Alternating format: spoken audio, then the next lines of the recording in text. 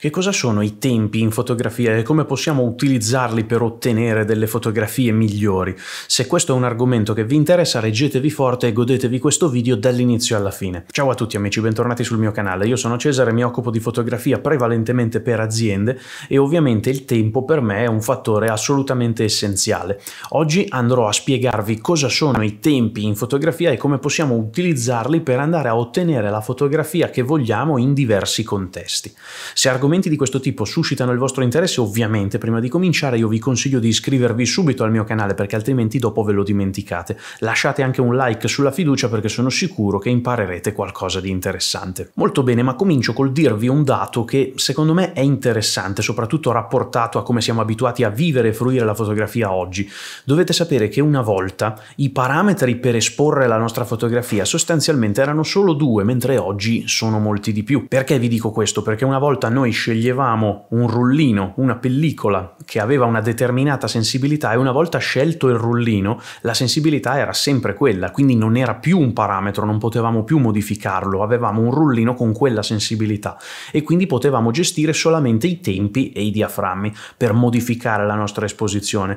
Oggi tutto questo è cambiato, sia perché abbiamo la possibilità di inserire tante altre lucette, tanti altri, altri artifici che ci permettono di modificare l'esposizione, ma sia soprattutto perché la sensibilità ISO viene gestita elettronicamente, quindi noi non abbiamo più il rullino che ci dà un parametro fisso, ma abbiamo i parametri ISO che possiamo cambiare per modificare la sensibilità. Quindi questa è una complicazione volendo perché i nostri parametri sono diventati tre. Ma noi oggi ci focalizzeremo solamente sui tempi, dando per scontato che gli altri due parametri siano già corretti per ottenere l'esposizione ottimale. Per fare questo è una cosa molto facile che possiamo ottenere su qualsiasi fotocamera stiamo utilizzando, è sufficiente che impostiamo priorità di tempi con gli ISO automatici. In questo modo noi stiamo dicendo alla nostra fotocamera che l'unico parametro su cui avremo controllo saranno i tempi, mentre i valori ISO e i valori di diaframma verranno impostati automaticamente dalla macchina per darci sempre un'esposizione corretta. Ora, questa non è una cosa che io ami particolarmente fare perché delegare parte del controllo che io esercito sull'immagine al processore della fotocamera è una cosa che mi lascia sempre con molti dubbi. Però devo anche dire che la tecnologia migliora e soprattutto sulle macchine più moderne ho avuto dei buoni risultati anche in tal senso, per cui non ho nessun problema a dirvi che se vogliamo imparare a gestire i tempi possiamo tranquillamente mettere gli altri due parametri in automatico così ci concentriamo solamente sul valore su cui stiamo lavorando e avremo sempre un'esposizione più o meno corretta. Ma arriviamo finalmente all'oggetto di questo video, ovvero i tempi di scatto. Che cosa sono i tempi di scatto? Fondamentalmente stiamo parlando del tempo necessario per catturare una fotografia. Quindi nel momento in cui noi facciamo una foto è necessario che l'otturatore, una volta c'era l'otturatore meccanico, adesso abbiamo un sacco di otturatori elettronici, è, è necessario che la macchina rimanga in posa per un dato tempo per catturare quell'immagine. Quindi nel momento in cui noi premiamo il pulsante di scatto il nostro dispositivo ci mette tot tempo a catturare la scena. Questo tempo può variare in un range che solitamente è situato tra 30 secondi e un 8 millesimo di secondo, quindi andiamo da un tempo molto lungo, 30 secondi è un tempo lungo in fotografia, a dei tempi molto brevi, un 8 millesimo di secondo è un tempo di scatto che si usa per la Formula 1, ma, ma, ma neanche, è già, probabilmente è già troppo breve anche per la Formula 1, quindi è un tempo veramente estremo. Sono due tempi estremi, ma noi abbiamo tutti gli step intermedi. Quindi abbiamo 30 secondi, 20 secondi, 10 secondi, con anche degli step intermedi, perché digitalmente si possono anche ottenere degli step intermedi abbiamo un secondo, abbiamo un sessantesimo, un centoventicinquesimo, un cinquecentesimo, un millesimo di secondo, un quattro millesimo, un otto millesimo. Quindi abbiamo tutti i tempi intermedi e possiamo dire con estrema precisione alla nostra fotocamera quanto vogliamo che duri la posa. Ovviamente nel momento in cui siamo in priorità di tempi noi gli diciamo quanto deve durare la posa e gli altri parametri si adeguano automaticamente. Se vogliamo fare una cosa pochettino più di fino lavorando in manuale andiamo a impostare i nostri tempi poi impostiamo manualmente anche gli altri parametri ma questo poco importa perché oggi ci concentriamo solo sui tempi. Un'altra cosa interessante un altro ausilio ulteriore che ci viene dato dal digitale sono le frazioni di tempo nel senso che una volta avevamo semplicemente i mezzi quindi da 30 secondi si passava a 15 da 15 si passava a 7 e così via. Adesso invece abbiamo tutti degli step intermedi che sono degli incrementi resi possibili dal digitale quindi abbiamo la possibilità possibilità di scattare a da 30 secondi non passiamo più a 15 ma abbiamo 20, abbiamo 25, insomma abbiamo degli step intermedi.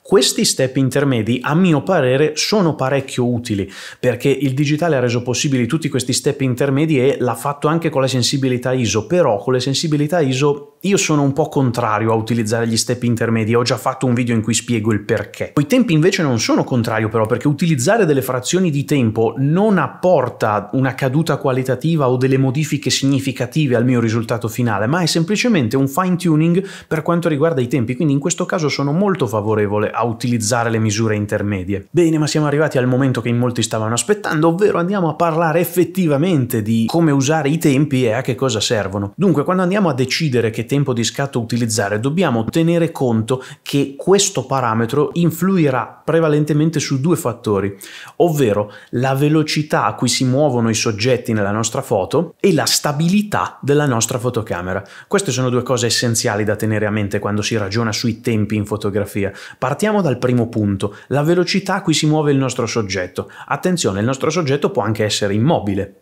questo microfono è immobile, quindi se io sto fotografando un soggetto immobile, la velocità del mio soggetto è zero e quindi io posso usare qualsiasi tempo e il mio soggetto non cambia perché è statico, perché non si muove. Se stiamo fotografando una persona è già diverso, per quanto io possa stare fermo, sono un essere vivente, quindi ho il cuore che mi batte, respiro e già solo per questo mi muovo quindi mi muovo molto poco perché sono fermo, però già un tempo molto lungo non è adatto a fotografare una persona perché un pochino si muove sempre. Una persona che corre è ancora diverso perché a quel punto si muoverà a una velocità diversa ancora e una Formula 1 che, che sfreccia sul circuito si muoverà a una velocità ancora diversa. Dunque per gestire questi tipi diversi di movimenti del soggetto noi andiamo a impostare i tempi di conseguenza e non esiste una regola precisa perché è empirico, dobbiamo vedere come si muove il soggetto che stiamo fotografando e regolare i tempi in maniera tale da avere il risultato corretto, ma dipende molto dalla velocità. Per cui vado a farvi degli esempi molto banali. Il microfono è fermo immobile, io potrò fotografarlo anche a 30 secondi di posa perché tanto non si muove. Ovviamente 30 secondi di posa con la macchina su cavalletto. Una persona, io mi muovo anche se mi stanno facendo una foto, quindi cerco di stare fermo, però diciamo che è poco prudente andare sotto un sessantesimo di secondo. Io le persone di solito le scatto tra un 125 e un duecentesimo di secondo per essere sicuro. Così anche se si muovono le catturo a fuoco lo stesso. Una persona che corre o comunque che si muove velocemente è meglio andare su un cinquecentesimo, mentre un'automobile o una gara di moto stiamo, andiamo verso il 4 millesimo di secondo, anche se vogliamo essere super sicuri. Quindi a seconda di che cosa stiamo catturando dobbiamo impostare una velocità di scatto diversa perché se noi sbagliamo la velocità di scatto Attenzione, se scattiamo il microfono a un 4 millesimo non succede niente, va bene, ma se scattiamo una persona a un trentesimo di secondo viene mossa, perché si muove. Così come se scattiamo una gara di moto a un cinquecentesimo viene quasi certamente mossa. Quindi dobbiamo impostare i tempi nella maniera corretta a seconda della velocità del soggetto che vogliamo catturare. La seconda cosa di cui dobbiamo tenere conto è la stabilità della fotocamera. Eh, qui è molto più semplice, qui ci sono delle regole un pochettino più codificate per andare a essere tranquilli quando si impostano i tempi in base alla stabilità della propria fotocamera. Innanzitutto bisogna calcolare la regola del doppio, ovvero bisogna andare a vedere la focale che stiamo utilizzando. Per esempio io in questo momento sto utilizzando un 35 mm che però su APS-C diventa più simile a un 50. Diciamo che per essere sicuro di avere la fotografia a fuoco con la lunghezza focale che sto utilizzando io devo raddoppiare, quindi sto usando un 50 mm, devo scattare a un centesimo di secondo, sto usando un 200 mm, scatto a un cinquecentesimo di secondo. Se io raddoppio la mia focale sui tempi, quindi per esempio sto usando un 20 mm, devo scattare almeno a un quarantesimo, se uso sempre questa regola sono abbastanza sicuro che la mia fotocamera sia abbastanza stabile, perché altrimenti se io sbaglio rischio che la mia fotografia sia mossa a causa dei miei movimenti, quindi non più dei movimenti del soggetto ma dei miei.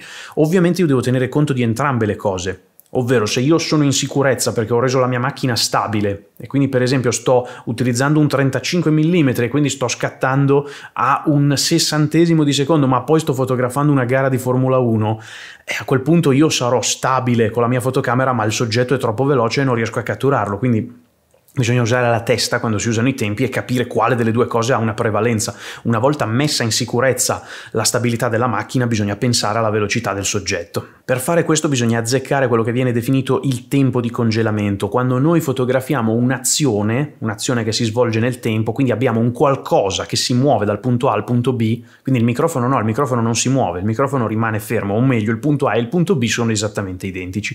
Ma quando noi abbiamo qualcosa che si muove, dobbiamo calcolarci più o meno quanto ci mette il nostro soggetto ad andare dal punto A al punto B. Se noi vogliamo catturare la scia di quel movimento, impostiamo un tempo che includa il tempo necessario al nostro soggetto per compiere quel movimento. Se invece vogliamo catturare il nostro soggetto in un punto preciso, dobbiamo ridurre i tempi in modo che il soggetto venga catturato solamente durante quella frazione di secondo. Per farvi capire meglio, andiamo a fare un esempio. Io ho collocato un orologio automatico sul mio set, come potete vedere si tratta di un bellissimo Seiko 5. Ora abbiamo scattato delle fotografie con tempi diversi e andiamo a vedere i risultati che sono stati ottenuti. Noi andiamo a mettere a fuoco e scattiamo una fotografia a un 125 e come possiamo andare a vedere la fotografia non è perfettamente a fuoco ma è abbastanza nitida. Se noi andiamo a cambiare questo parametro, quindi andiamo ad allungare i tempi di scatto, vediamo un po', andiamo a metterci a un secondo, un secondo di tempo di posa e andiamo nuovamente a scattare una fotografia. A questo punto la macchina ci ha messo di più e vedete che il movimento della lancetta è ben visibile nella fotografia. Quindi a seconda di quello che facciamo otteniamo risultati diversi. Andiamo a impostare due secondi, quindi il doppio. A questo punto noi andiamo a scattare la nostra foto che ci mette di più chiaramente a essere catturata. Vedete che a questo punto la lancetta eh, tende ad avere un movimento assolutamente visibile e tende quasi a scomparire.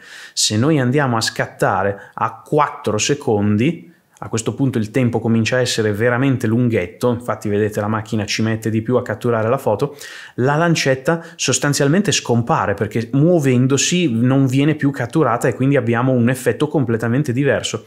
Andiamo a provare a fare il contrario adesso, andiamo oltre un 125 qui l'esposizione non me lo consente più, andiamo a un 200 quindi ben di più. Noi andiamo a scattare la nostra fotografia e in questo caso vedremo che la lancetta viene cristallizzata cristallizzata perfettamente nello svolgimento del suo movimento, quindi questo tempo di scatto è sufficiente per andare a cristallizzare il movimento della lancetta. Queste sono prove empiriche, io ho fatto le prove sulla lancetta di un orologio, prove, lo sapevo già, sapevo già che a 4 secondi sarebbe diventata invisibile, sapevo già che a un secondo si sarebbe visto il movimento, sapevo già che a un duecentesimo sarebbe stata catturata perfettamente cristallizzata.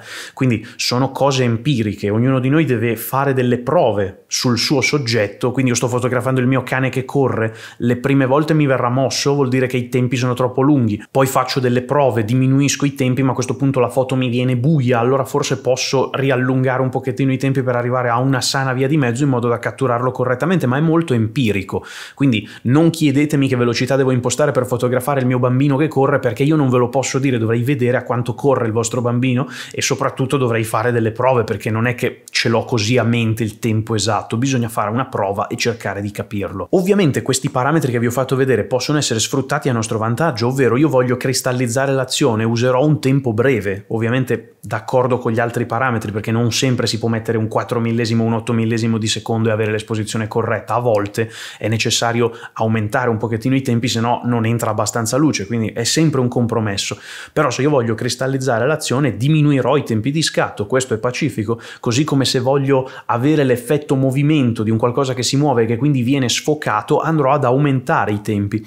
Se io aumento i tempi oltre un certo limite, vedete che la lancetta a un certo punto tende a scomparire perché il movimento è come se la cancellasse. Io posso sfruttare questa cosa a mio vantaggio, nel senso che se sto facendo una foto di una piazza, per esempio, e uso un tempo molto lungo, le persone che camminano verranno cancellate. Quindi è un giochino molto divertente questo per, per, catturare fotografie di una piazza deserta, anche se c'è qualche persona. Se io uso un tempo molto molto lungo, quindi superiore ai 30 secondi, magari 6 minuti di posa, la butto lì, con 6 minuti di posa io sono abbastanza sicuro che la piazza sembrerà completamente vuota. Ovviamente per fare questo ci sono dei trucchetti ulteriori, bisogna mettere dei filtri ND perché altrimenti avremo troppa luce in macchina. Però questo è il fascino del tempo in fotografia, si possono fare veramente tante cose, dal cristallizzare l'azione di un atleta mentre salta un ostacolo, fino a creare l'effetto seta sull'acqua oppure le scie dei fari di un'auto in una fotografia notturna e ovviamente tutto quello che ci sta di mezzo, quindi catturare correttamente il nostro cane mentre gioca o semplicemente fare un bel ritratto. Ognuna di queste situazioni ha un tempo ben preciso o più o meno un range di tempo ben preciso che va impostato per ottenere esattamente quel risultato. A questo punto amici fatemi sapere in un commento che cosa ne pensate, fatemi sapere se usate i tempi, se siete soliti fare giochi di questo tipo oppure se li avete scoperti oggi per la prima volta. Io vi ricordo come sempre di iscrivervi al canale per rimanere sempre aggiornati, lasciate anche un like a questo video perché sono sicuro che avete imparato qualcosa di interessante. Io vi ringrazio di aver passato un po' del vostro tempo con me, vi do come sempre appuntamento al prossimo video